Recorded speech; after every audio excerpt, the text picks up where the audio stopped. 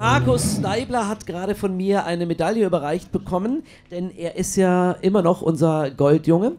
Ähm, was aber jetzt passiert ist, nachdem du das alles gewonnen hast, am 7. Dezember 2014 in Doha, neun Tage später, Mitte Dezember 2014, hast du gesagt, ich schmeiß jetzt hin. Ich höre auf mit dem Leistungssport. Nach neun Tagen, nachdem du den Weltmeistertitel bekommen hast keinen Bock mehr gehabt? Wolltest du einfach nur einen großen Abgang? Was ist um Gottes Willen passiert? Nee, das war halt, ich habe äh, mit Beginn von der Saison, also eine Saison geht bei uns, äh, fängt ungefähr im September an und dann kommt erst die Kurzbahn und dann kommt bis Juli ungefähr die, die Langbahnsaison. Und mit Beginn von der Saison habe ich eben gemerkt, oh, ich habe gar, gar keine große Lust, wieder anzufangen mit zu trainieren, also zu trainieren. Wir haben einmal im Jahr frei, das sind vier Wochen, das ist im Sommer, die Sommerpause. Und ähm, da habe ich einfach gemerkt, ich will, ich habe gar nicht so große Lust. Und dann kam das erste Mal überhaupt der Gedanke, okay, ich muss ja eigentlich nicht, weil sonst davor, ich habe es so lange schon gemacht, dass es wird halt auch zur Gewohnheit und ich mache es halt weiter und es ist ja eigentlich auch insgesamt cool und so. Und da kam das erste Mal der Gedanke und dann habe ich da viel drüber nachgedacht. Das war für mich eine riesen Entscheidung. Ich, einmal war es mein Lebensinhalt, mein wichtigster, größter. Zum zweiten habe ich davon gelebt. Auch, also ich habe mich davon finanziert auch.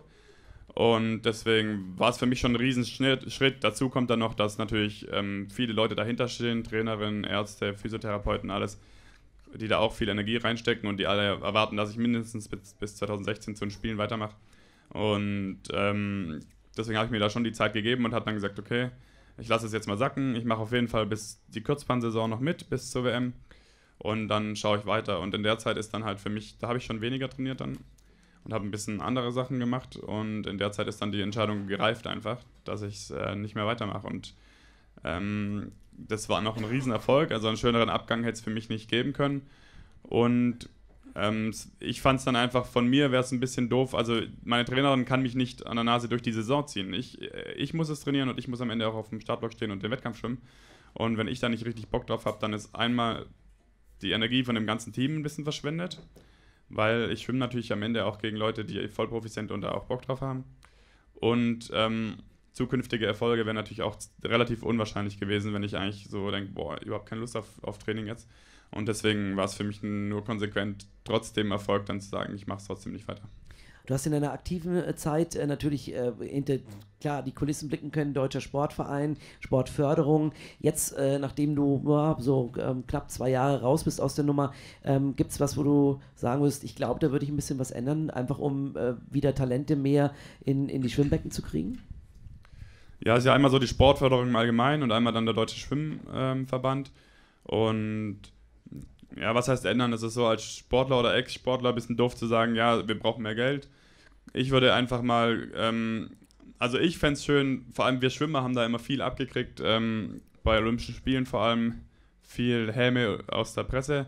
Ich habe da nicht so ein Riesenproblem mit gehabt, aber also wir werden eigentlich regelmäßig niedergemacht von der Presse nach jedem nach, oder bei jedem Großevent schon, wenn nicht sofort die Medaillen da sind.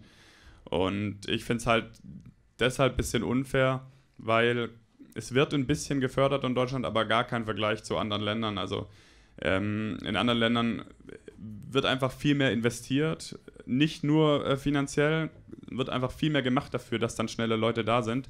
Und ähm, das passiert halt bei, bei, uns nicht. Deswegen finde ich, es müsste einfach mal eine Entscheidung her, will Deutschland überhaupt den Leistungssport, will Deutschland Medaillen gewinnen bei Olympischen Spielen und bei Weltmeisterschaften?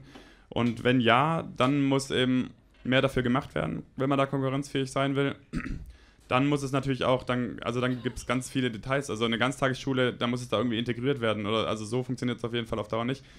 Ähm, und wenn nein, dann ähm, dürfen aber auch keine Medaillen erwartet werden dann am Ende vom Jahr. Das ist das, was für mich gerade nicht ganz zusammenpasst. Also wir werden gefördert wie die, also wir werden wahrscheinlich gefördert wie die 35 besten Sportler auf der Welt und am Ende müssen wir schneller sein als die Chinesen, die ähm, eine Milliarde Leute sind und wo dann ähm, 5000 Fünfjährige in ein Internat gesteckt werden und getriezt werden und einer kommt dann eben durch. Das passt halt nicht ganz zusammen, ähm, Anspruch und, und was man dafür tut. Genau.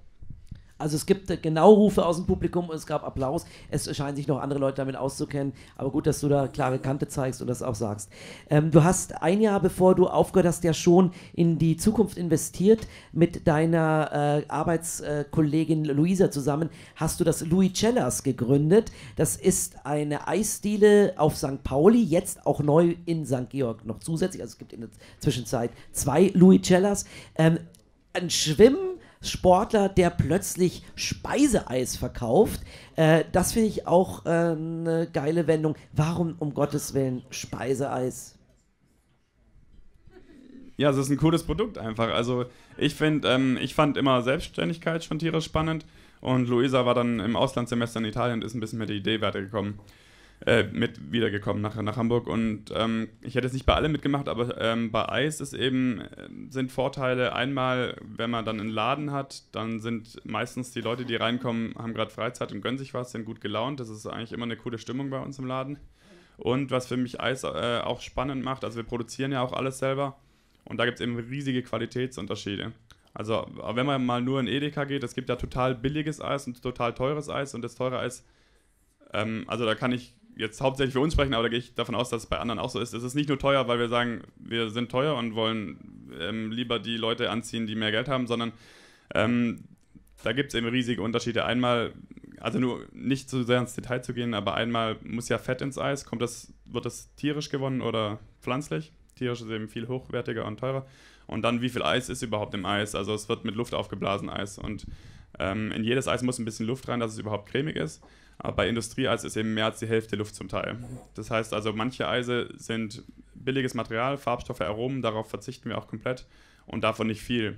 Und das gibt eben dann den Unterschied in, den, in, den, in der Qualität und auch in den Preisen.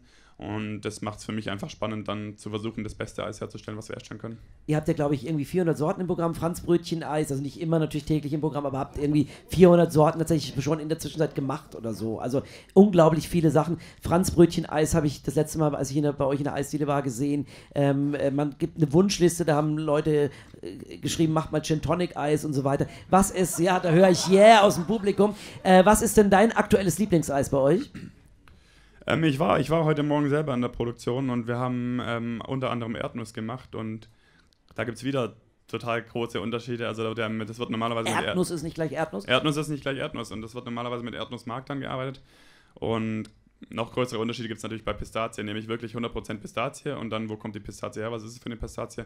Oder nehme ich irgendeine Paste, die mit ähm, anderen Nüssen und Aromen und so gestreckt ist? Und das haben wir das erste Mal ähm, jetzt seit langem wieder produziert und das, da habe ich auch ein bisschen was genascht. Ja, also man kann mit Markus Leibler nicht nur über das Schwimmen reden, sondern auch über das Speiseeis, meine sehr verehrten Damen und Herren.